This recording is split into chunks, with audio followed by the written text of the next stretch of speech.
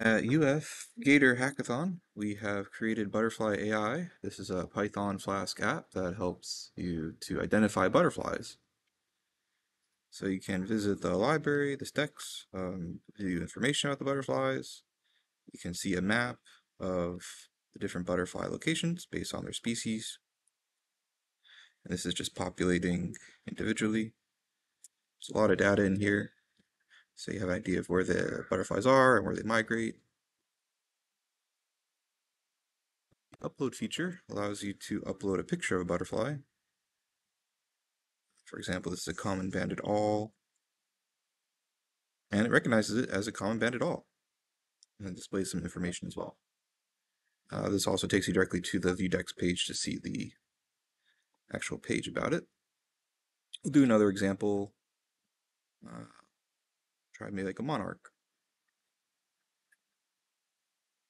And it recognizes that this is a monarch uh, 1, 1.0. We have a camera feature so we can bring out this in the field. So right now I have it one camera so it thinks that I'm a banded peacock. I'm going to pull out my phone. So now it's seeing another one. Actually, I have a picture of a monarch and it looks like it is finding the monarch. So you can see this is a monarch, and yep, it's recognizing it. In order to gather data, we initially used an available data set that contained many various species of butterflies, which we condensed to only the ones that can be found in Florida. However, we found that there were not many remaining, and so we created another data set using the catalog of butterfly species at the Florida Museum of Natural History and in doing so, we have accumulated folders of images for over 70 other species of butterfly. And we then went in and removed any irrelevant images or images of species that were not correct. Our model was developed using TensorFlow and Keras in Google Colab it is a deep learning image classifier for butterflies and moths. For this model, we focused on the initial 100 butterfly dataset that we filtered to include only those butterflies that are in Florida or in the Florida Natural History Museum. And the final model has an accuracy of 85.4%.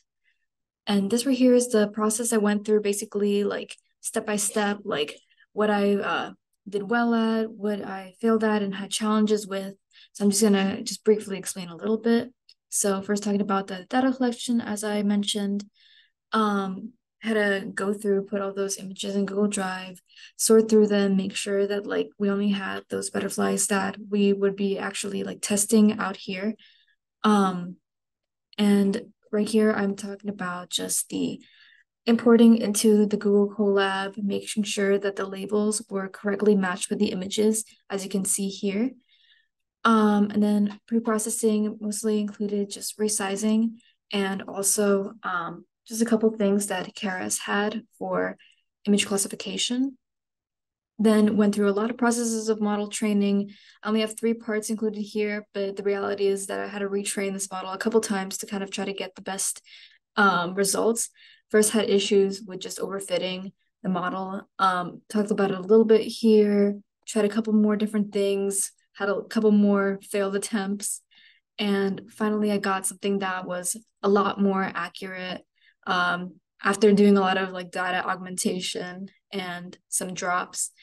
Um, and this is me increasing that um, same um, model layers, increasing the epoch to be a little higher and getting greater accuracy because of it. Um, but overall, this model can still be improved on. We didn't include all of the data that we had for the data set. Um, and mostly our biggest issue was just because we had so many species, but not enough images in each of those species to make something that was like incredibly accurate. But if I could expand upon this model, have a little more time, I really would make it a lot more accurate and include so many more different species, not only Florida and Florida Natural History Museum butterflies, but those of the entire United States. In that part of the application, I used a dataset from GBIF to create each point for each butterfly species. From there, I was able to import it into ArcGIS Online, which allowed me to individually see each and every species and be able to select. So in our app, this map is indebbed in there and the user can go in and select just specifically one species so they can sort of see the range of where each species is.